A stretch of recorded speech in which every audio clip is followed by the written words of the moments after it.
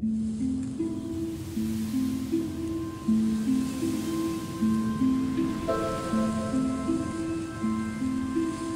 a, a huge nature lover and I love flowers. I've always loved flowers. Um, very much obsessed since I was a child. I just used to draw flowers constantly.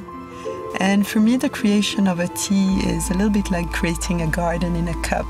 Um, and I think there's a lot of analogies in the selection of the flowers, the spices, um, the colors, the scents. So I, have had this fascination for a poem which describes plants evaporating from a field and doing a waltz in the air. And each time I create a tea, I, I have that image. I'm imagining dancing is actually the, the tea. And I think it's quite beautiful to imagine it in that way. Tea has influenced me uh, a lot.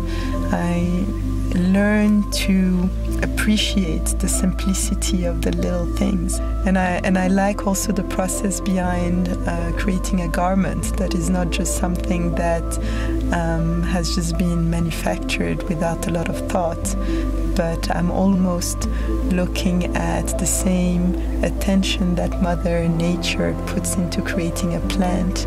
I'm looking at the same attention in the creation of a garment. I'm Swaady Martin, a tea artisan from Africa.